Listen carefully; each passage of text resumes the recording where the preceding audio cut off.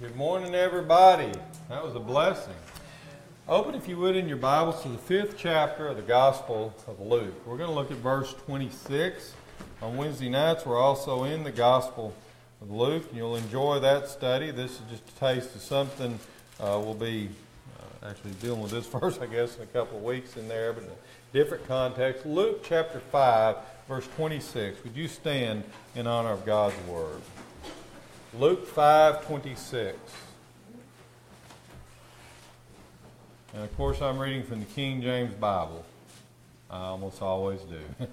they were all amazed, and they glorified God, and were filled with fear, saying, We have seen strange things today.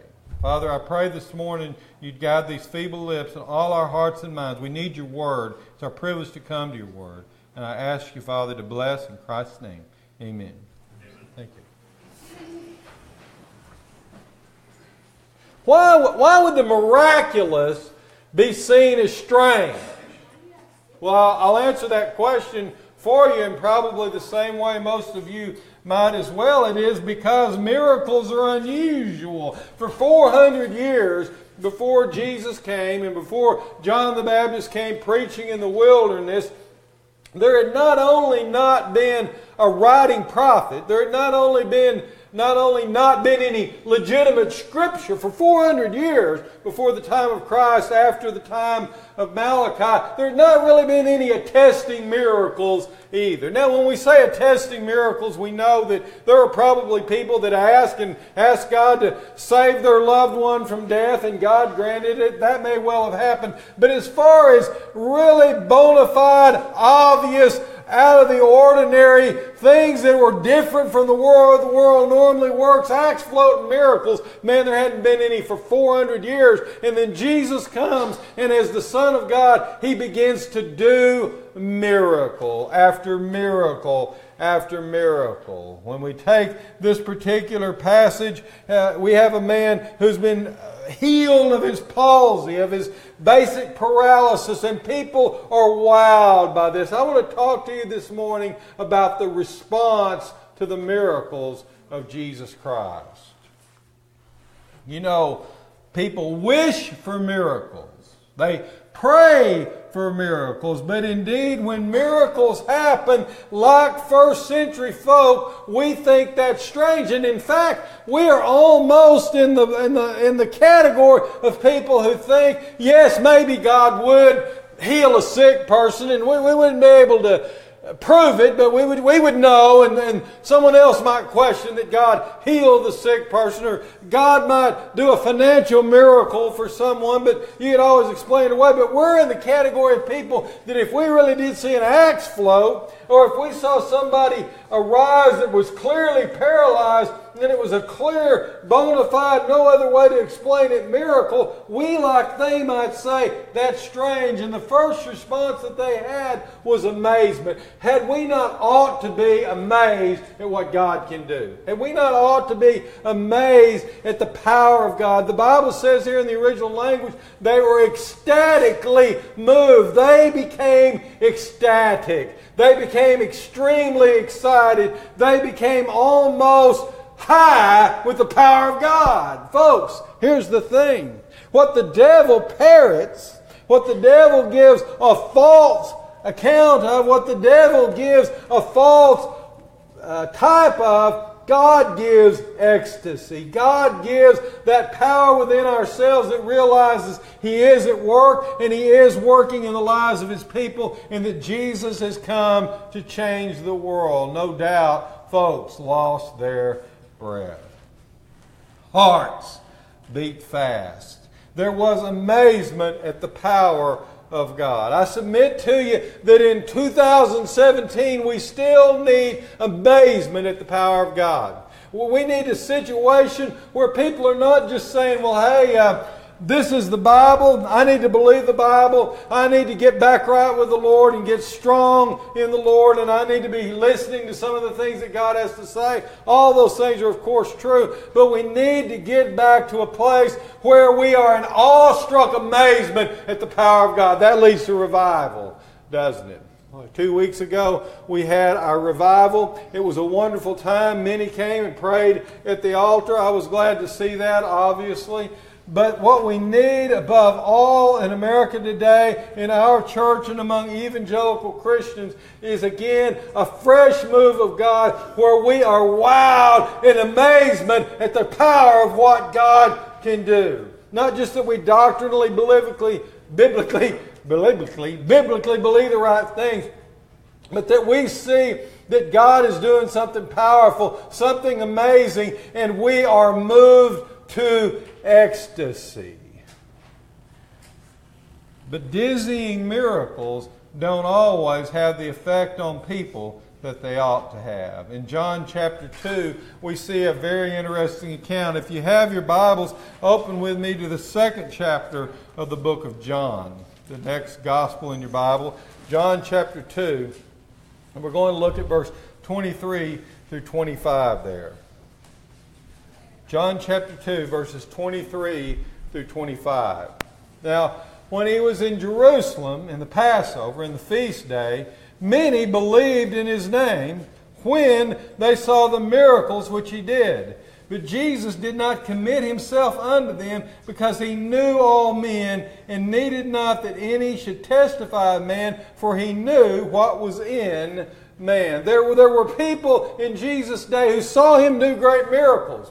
And the Bible says in Luke, they were amazed. In John chapter 2, it talks about the fact that they were so moved by his miracles that they believed, but the way that they believed was clearly not a way that was going to change their heart and life like it ought to. No, what we need today is amazement in the presence of God that makes a real fundamental change in the people of God and makes a real fundamental change in our world so that we can sing with reality that hymn, I stand amazed in the presence of Jesus the Nazarene. Let me ask you, are we amazed at the power of God? Didn't ask you, do you believe in the power of God? Didn't ask you, do you believe that God's Word is true? I hope all those are true. But do we stand in awestruck, slack jawed amazement at the power of Almighty God? When God gets to doing miracles in the lives of His people, amazement, life changing amazement, we would hope, begins to happen. The Bible says here also, though, that the glorification of God happened. In this particular case, though it doesn't always happen, and Jesus said that he didn't trust himself to people sometimes when they had a superficial response to miracles, but in this case, there was the glorification of God. They're filled with fear, and that they glorified God. Folks, the number one thing that needs to happen in all the world is the glorification of God. We think sometimes the number one thing that needs to happen is that some social ill would be wiped out, that there wouldn't be an abortion anymore, and that we would be traditional marriage again. All those things are great and they're wonderful and they're good, and that people would be saved. Amen. We are left here to share the gospel that people might be saved all of the wonderful things that could happen. Our culture could return back to the Lord God. We could be an influence in the world. But at the heart of it has to be that God get glory. When somebody gets saved, that's going to influence this culture. If a lot, millions and millions of people in America got saved, it would influence this culture in powerful ways. We are a predicated culture on being a godly people. And when people get saved, that means that they are not going to go to hell anymore. Amen. If you care for your friends and neighbors and you share Jesus, they're not going to go to hell anymore. But the number one thing is that God be glorified. The reason everything exists is for the glory of God. The ultimate end of all things is the glory of God. If nothing else in the world happens and God gets glory, things are good. God ought to be glorified. You know the reason you and I shouldn't glorify ourselves or others? Because only God should be glorified. You shouldn't brag on yourself because only God should be glorified. You and I shouldn't think more highly of ourselves than we ought because only God should be glorified. But it is appropriate for Jesus to say who God is. It was appropriate for Jesus to say that uh, before Abraham was, I am. It was appropriate for Jesus to point to the glory of God and to manifest his own miracles to point to himself as the divine Son of God. It is appropriate that God be glorified. The devil's great fall was in his pride, he sought to usurp somehow the position of God. And that's what pride always is. But God ought to be glorified. So that when people begin to glorify God, everything else falls into place. What are we saying? We're saying this. The number one problem in our nation and world today isn't that little babies are being aborted. Okay, you okay?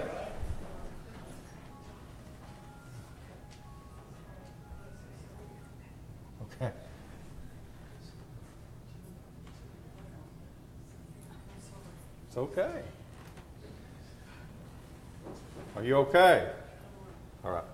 The number one problem in our world today is that the little babies are being uh, murdered. The number one problem in our, our world today isn't gay marriage. The number one problem in our world isn't any other social ill that you could think of or war with North Korea. The number one problem that we have is that God isn't being lifted up. If He be lifted up, then all men will be drawn to Him. The number one important thing in all the world is Almighty God be glorified. The number one important thing about the response to miracles is that people began to look up and say how great Almighty God is, that He is holy, other. The number one reason we are here this morning in worship, we're here to encourage one another, to strengthen one another, to learn God's Word, but above all to say, Holy, holy, holy, Lord God Almighty. You are holy. You are other. You are worthy of our worship, adoration, and thanksgiving. When we begin to see God for who He is in His powerful glory,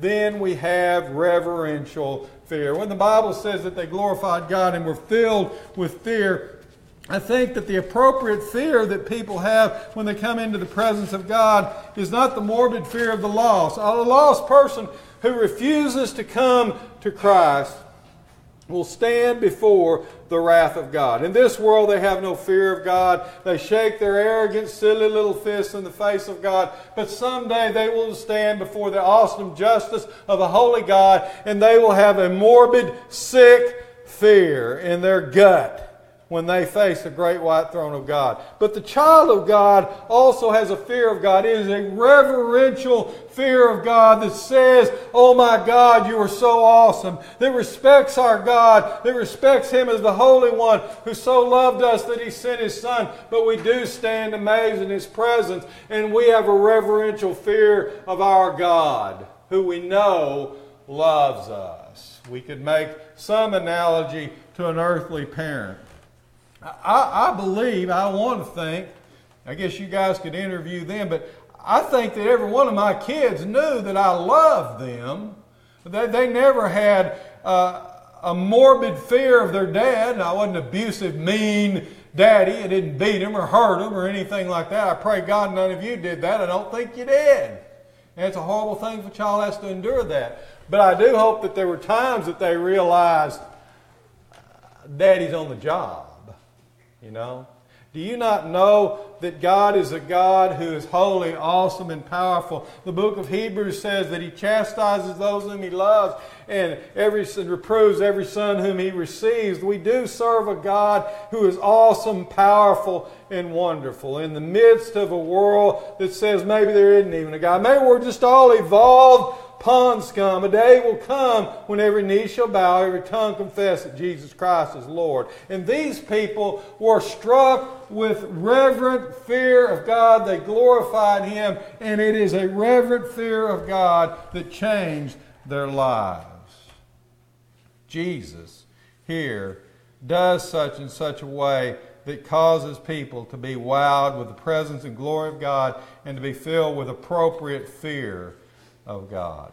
John Calvin, years ago, in his Institutes of the Christian Religion, said, and this, of course, translated in English, he said, in particular, the miserable ruin into which the revolt of the first man has plunged us compels us to turn our eyes upwards, not only that while being hungry and famishing, we may thence ask what we want, but being aroused by fear may learn humility. Isn't that spot on? The, the, the, problem with man who doesn't fear and reverence and glorify God is this he begins to think of himself in a very proud way. He begins to think, well, I've done it all. I've accomplished everything for myself. I went out there and I grabbed hold of the brass ring and I brought it to myself. And he began more and more to think, do I really even need God? And especially in our opulent culture, in our materially blessed culture, it is easy for people to begin to forget who God is, to forget that there is a God in heaven, that they ought to fall before their faces in humble worship, and there is nothing greater than to fall before your face in humble worship of God. There is nothing that plugs in our soul like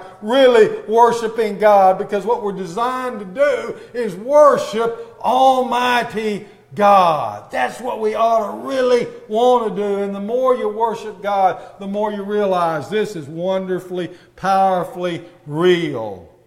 Awesome. And sometimes we stand before God, even in His grace, and we stand humble, like Isaiah did in chapter 6 when he said, when he came in the presence of God, Woe is me, for I'm a man of unclean lips, and I dwell in the midst of the people of unclean lips, for mine eyes have seen the King the Lord of hosts. You see, that is what happens to people when they see the power of God happening. We learn a lot of humility about ourselves, and then we become very usable for God. Jesus did miracles to the glory of God. Yes, this man got healed in our chapter in Luke, and he got to walk, and it was a wonderful thing, and it was a blessing. But above all, it was done to glorify God, to show the power of God, to bring about reverence and change lives and not just to wow the masses or to be a dog and pony trick. No, indeed, what we need in our world today is humble worship and glorification of Almighty God, where people are moved where they legitimately become repentant of sin. When we come before the altars of this church, and church is all about America, and cry out about our sin and realize how powerful God is, and when people realize how powerful God is, then the power of God can begin to be more and more operative in our lives, in our culture, in our world, and that is, my friends, all good.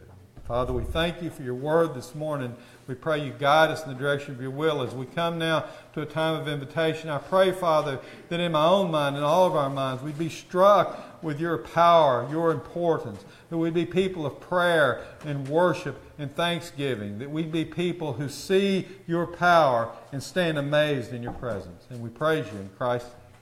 Amen.